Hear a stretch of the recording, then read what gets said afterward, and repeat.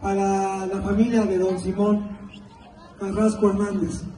Este reconocimiento, desde luego, como ya se dijo, es gracias al esfuerzo que ha realizado junto con su familia para poder llevar más de 60 años practicando la charrería de manera ininterrumpida, porque hasta la fecha sigue charreando, es un charro activo.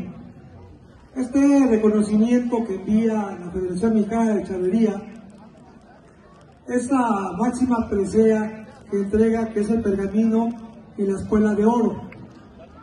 En este momento, en este momento me voy a permitir dar lectura al pergamino que entrega la Federación y que dice así.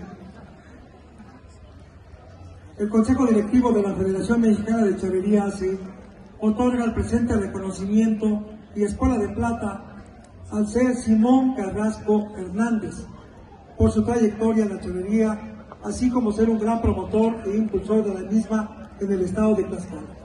Patria y tradición, honor y espíritu deportivo, presidente ingeniero José Antonio Salcedo López, secretario general licenciado Jaime Alejandro Pera Vázquez y el secretario de Tesorería y Finanzas Rafael Alberto Rodríguez. Tlaxcala Tlax, abril 2023, charrería, tradición ecuestre en México, patrimonio cultural y material